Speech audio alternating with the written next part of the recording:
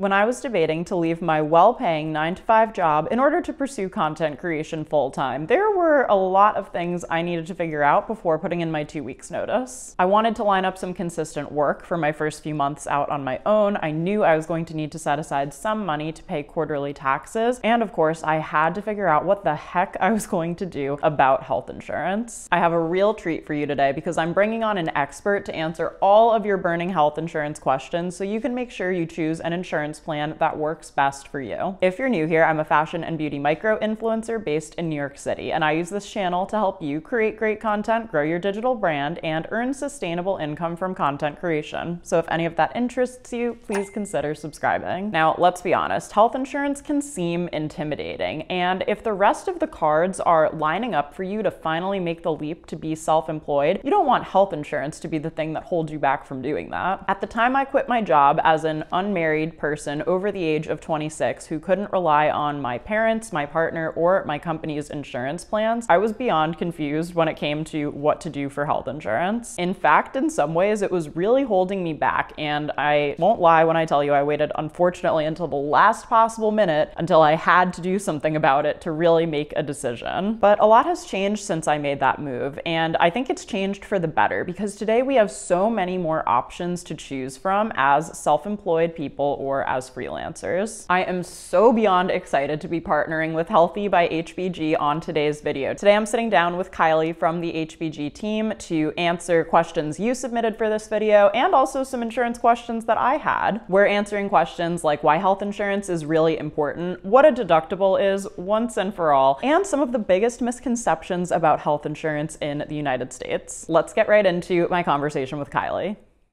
All right, everyone. So today I am joined here with Kylie Morrissey, who is here to help you answer all of your burning health insurance questions. So, Kylie is the director of marketing at Healthy Business Group, an organization working to make healthcare and other coverage options easy to enroll in and more affordable for all through their product, HealthEE by HBG. Kylie, welcome. Thank you so much for being here. Thank you for having me. We are so excited to have you and get started because health insurance, especially when you're self employed, can feel like a really intimidating topic for a lot of people, especially here in the US, where it feels like the rules of the game can change all the time. So, just to start out, so everyone who's watching really understands, could you tell us a little bit about why having health insurance is so important? Because sometimes it feels so confusing that we're like, hmm, nope, pass, let's not even go into it. right? It's a very complicated industry. So, having health coverage is important because it allows you to get help when you're sick from a doctor. And you can do that now on your phone if you're really sick in your bed, or you can go to the doctor's office. It's also important so that you can get preventive screenings and preventive care because having those age appropriate and gender appropriate screenings can save your life by detecting early cancers or other illnesses. It can also save you a lot of money in the future because you never know what's going to happen. Yeah, that's so true. And honestly, like even sometimes, you know, especially I know for women, I hear friends who say, "Oh, I just went to like go get my yearly screening just to check everything out." And it's always so much easier to deal with when you catch something early. And it can be a little scary, of course, to like go to a doctor and actually hear all of those things and start to think about preventative stuff. But when you know what you're working with, you have so much more information at your disposal to really like make sure you can take care of things quickly. Definitely. There's totally a reason why doctors recommend certain things yearly. And um, it's really important to get those screenings done.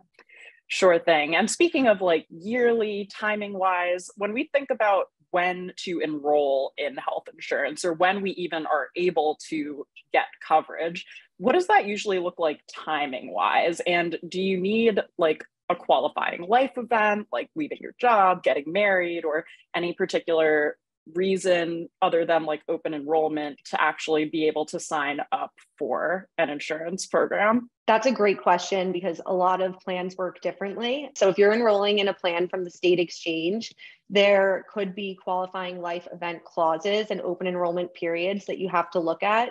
At HealthEE by HBG, we design our plans to be as flexible as the freelance lifestyle. So you can enroll at any time throughout the year. So there's no open enrollment periods. If you enroll by the 25th of the month or make a change to your plan by the 25th of the month, it'll be effective for the following first of the month. That is so great. And I love that you said it's flexible the same way like the freelance lifestyle is, because I know for me, just the timing of when I personally left my job, I left in April 2021 and that wasn't near that you know november enrollment right. period that we're used to and it was very complicated to kind of figure out okay so my insurance will only last for like 30 days after I leave. Mm-hmm. Like how do I figure out what to do next? And yeah, it's it's it's great to hear that there's that flexibility there because like you said it aligns so well with being self-employed. Yeah, and I'm you can't plan for those things usually and you're not real when you're leaving a job or starting a new venture you're not really thinking like oh when's the open enrollment period in my state? So that allows for a lot of flexibility. We also have a team of support agents that can answer any questions. They're not there to sell you anything. They'll just field your questions and see if these plans are right for you and push you in the right direction. That is so great to hear. And actually, going back to like, I know for me, when I quit my job, I was mainly just kind of thinking about the next steps of my creative career. And I was very excited about that and tried as much as I could to like look in advance and see if there was anything I really needed to know. But I have mm-hmm. to say, I probably did not plan as well as I could have at that time. So, for anyone out there who maybe isn't self employed yet, but is thinking about potentially making that leap, what advice would you have, or what should someone consider who is thinking about leaving their job when it comes to health insurance? I would say that when leaving your job and thinking about your healthcare options, you should think about how often you see a doctor. Do you have pre existing conditions? Some plans do have clauses that have waiting periods for those pre existing conditions. What medications do you take? And are those medications covered on the plans that you're looking at? Um, my biggest piece of advice would always be to review the documents thoroughly and make sure that you're comfortable in enrolling that in the plan that you're choosing. Yeah, that's such a good point because I know, like, for me, I usually do my annual checkups, but I don't need to do tons of frequent visits to doctors. So when I was first looking, I was definitely looking for something that covered my basic needs, a medication, like you mentioned too, but mm. that didn't necessarily have to be overly complicated. And of course, that can totally vary depending on your own situation. But even that question that you said, how often am I going to the doctor? Like that can be a really good reference point for someone to start to make those decisions. Yeah. And those, deci- like the answers to those questions could help you guide you into a plan. Like if you're only seeing a doctor for preventive services and you don't have a lot of medications or pre existing conditions, you can probably get by with a lower cost option because there's a big correlation between price and coverage with health insurance. And I guess that makes sense, right? The more you need, mm-hmm. the more it might end up costing you. So that that totally makes sense. Okay, so moving on, how can you easily find health insurance as a freelancer? Because I think there's also this notion that maybe it varies from state to state or that, you know, there aren't that many options out there. So what does the process of finding your insurance plan look like? Our plans are geared towards the individual, making it the perfect place for a freelancer to find coverage. And as I said before, they're very flexible. You can upgrade, downgrade, or cancel at any month throughout the year. We do support the exchange plans as well. So if you have questions and think that our plans aren't right for you, one of our support agents can get you over to the exchange and make sure that you're getting the coverage that you need. Well, and that's what I also like really appreciate about you guys as a company too is you're just willing to help people find the answer that they're looking for whether or not like you're the right fit and obviously you guys have so many great options and what you said in terms of the flexibility like the ability to upgrade and downgrade and not feel locked in that's really big for a lot of people just mm-hmm. because mm-hmm. life can be unexpected and you never know what is around the corner if something changes and i just really oh, like appreciate about that with, with what you guys offer yeah we found the com- we founded the company during the pandemic so a lot of people were leaving their jobs focusing on passion projects full time and just needing that flexibility and not knowing where to turn so we hope to be helpful in that space Yes. And also, if you're a fellow participant of the great resignation like I was, leave a comment down below on this video. I would be curious to hear how many of you out there became self employed during the pandemic. And then one other thing that self employed people are always thinking about is tax write offs and tax breaks. So, is health insurance a tax write off, or what does that look like in terms of maybe a self employed person's overall business plan? That's a great question. So, generally, the premiums on your health insurance plan are tax deductible, but I would always recommend consulting your tax accountant or tax advisor when making these decisions because states may have different limitations. And just so you know, the premium is the amount of money you spend each month on the health plan. Awesome. That's great advice. And then I know sometimes too for health insurance plans, there are different tiers or different, you know, bronze, silver, like we're in the Olympics or something. So, what should someone look for when they are comparing and contrasting some of the different tiers and various options within a plan that they might be looking at? So, I would recommend thinking down the line within that plan year because most plans our annual plans. As I said before, there is a huge correlation between cost and coverage with healthcare plans. Think about what you need covered. Are you planning to have a baby in the future? That is something that is normally not covered on a lower cost option. That totally makes sense. And especially when, you know, sometimes things happen sooner than you expect, sometimes things happen later than you expect. So just understanding that and thinking ahead to what does the next year look like for you? It's almost like setting goals, which is something I'm a really big fan of doing. Right. Are you planning on getting a surgery? Are there procedures that you've been putting off?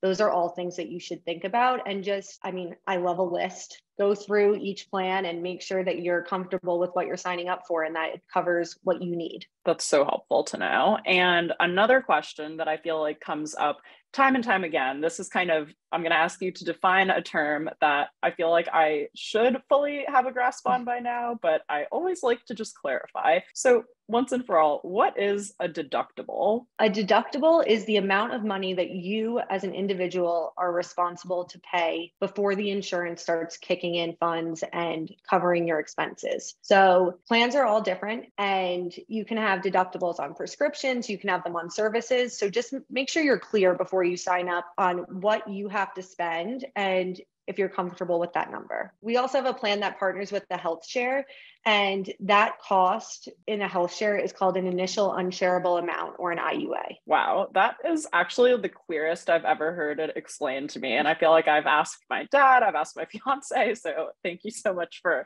actually breaking it down for us. Moving along. So I did the thing, I put on my big girl pants and I signed up for a health insurance plan. Now I need to actually like make some appointments. So do you have any tips for us for finding providers who actually accept your insurance and how to make sure that they will take your plan? Of course, there are a few ways to do this, and all are pretty easy. So you can go to the carrier's website and search by your zip code and the specialty of doctor that you need. You can call your current physicians and ask what networks they participate in and if they participate in your network. You can also use a website called ZocDoc where you can put in your zip code, check off that they're accepting new patients and find highly rated doctors in your area, which is always great. All of our plans come with access to Rightway Healthcare, and Rightway Healthcare is a healthcare concierge app that you can use on your phone to help you find highly rated in network doctors, facilities. They can book your appointments and they could even check the bills for you. They're really a lifesaver in this crazy world of healthcare. You just take a screenshot or a photo of your bill, send it to them, say check for accuracy, and they'll make sure everything's okay and make sure that you know what you can expect to pay when going to the doctor. Because, like we said before, the deductibles can be very confusing and they can track your deductible for you and all of that, as well as find in network doctors. So, whichever way you choose out of those different ways of finding a network doctors, they're all pretty easy. My God, I am so grateful to live in 2023 and a time where we have things like this that exist. And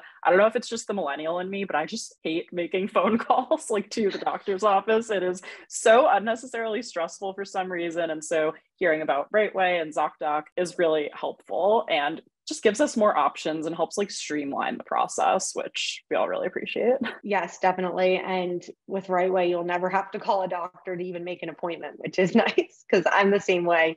I hate picking up that phone and scheduling and all of that. Yes, that is the world that I would like to live in. Great. And then another question for you is, you know, what's the biggest misconception would you say about health insurance? Because I feel like we've already debunked a lot of maybe some of the fears or things that people had originally thought about health insurance. Hopefully we have here, but overall, is there anything that you think is generally confusing or misunderstood with when it comes to health insurance? I think the biggest misconception is that finding individual health insurance is really hard to find and really expensive. If you do the research and ask the right questions, you can usually find a plan that can fit in your budget. It's just really important to figure out how you can best use the plan. All right. Well, Kylie, you have very patiently answered all of my questions. Is there anything else that you want to add before we wrap up and let people know where they can find you? Just that our support agents are available to answer any of your healthcare related questions. They're not salespeople. So you'll get on the phone and get your questions answered and hopefully get some guidance. Austen's going to put that link in the description of this video. And I think that's all I have to add. You can follow us on Instagram and TikTok. It's healthy with two E's by HBG on both platforms. That is so great. And you guys can be sure to click the link down below for more information as well. And obviously, we love any company that has a TikTok account. So definitely be sure to check out HealthEE by HBG. And Kylie, thank you so much again for your time today and for answering all of our burning health insurance questions. Of course. Thank you for having me.